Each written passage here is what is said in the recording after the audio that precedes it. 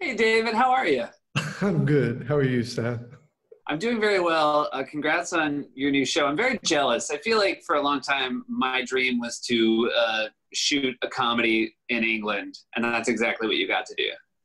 Yeah, I'm, I feel really, really blessed. Actually, it's a lot of fun to work in in the UK. Yeah. And you, how did you know the um, the creator of the show? How did you get involved in the first place? Yeah, uh, he's a buddy of mine, Nick Mohammed. Um, you know, he and uh, this other writer and actor, uh, Julia Davis, had created a show that they were thinking about adding an American character to. This was a couple of years ago. So I went out to London to do about a week of improv with them um, and just kind of find that character and find who this guy would be. And we discovered a really fun dynamic uh, between Nick and I of kind of a a difference in status and power. And I guess Nick really loved that dynamic, and we had such a good time working together that about a year later, he just emailed me this idea. And um, I just thought it was, I was just so tickled by the idea of a workplace comedy set in the high stakes world of national security and cyber terrorism uh, that, uh, I, and, and this guy who's such a pompous American blowhard. I just thought it was a really fun opportunity. So it does seem like a character that you sink your teeth into. Did you know from the like early creation of the character or the fact that it was this workplace intelligence comedy that you wanted to be the brash sort of blowhardy American character? That's kind of who he was from the offset. And we, um, we worked on it then together for about a year, year and a half, trying to find trying to find this guy who to me is inspired from a lot of men in power in in our yeah. in our in our country and probably his um, uh, this you know this um, mostly ignorant narcissist uh, and um, uh, casually casually uh, sexist and uh, racist and homophobic and and very patriotic, mostly because he's never been out of the United States in his life. right. Uh, were you like I? You know, obviously, uh, we both have backgrounds uh, as improvisers, but I, you know, I haven't done it for so long. I think I would be a little terrified if somebody said, "Hey, let's go, let's improvise." Did you? Was it all? Did all? Did it all come back to you, or was it scary?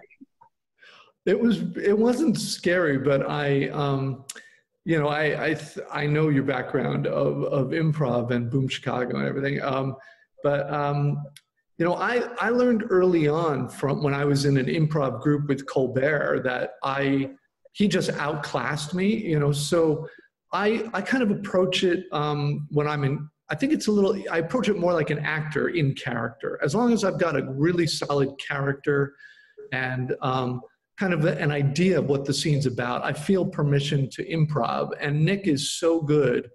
Um, he's he's as good as you and Colbert at it. Um, so um, I feel like he he carried me pretty much. So you uh, so you brought up Colbert. Now I need to say it. Uh, Colbert, uh, you, myself, our other guest tonight, Robin Thede, all graduates of Northwestern University. I know yeah. I've talked about it before. You spoke at my graduation, and I know that's like a, there's a good and bad to that because one, I, I, feel like um, I'm age shaming you, but two, you gave the best commencement speech, Thanks.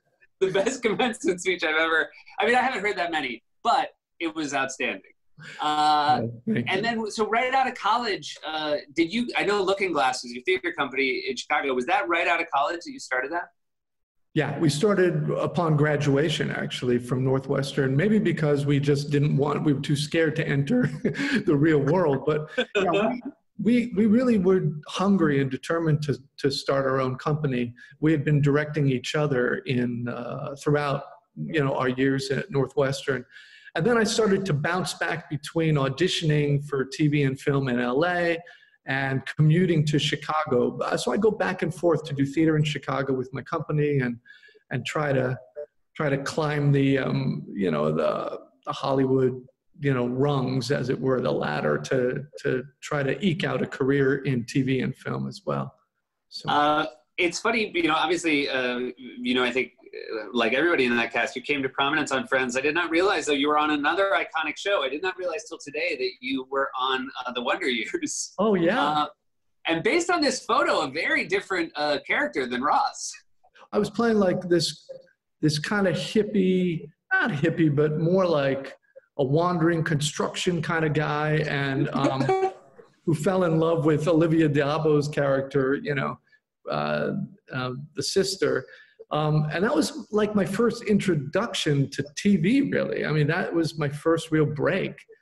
And um, I can tell you, the first, actually, my first real scene on camera, you know, I come from theater, so I had no idea what I was doing, right? I just thought, okay, we all rehearsed this big dinner scene, actually, about five of us sat at the table.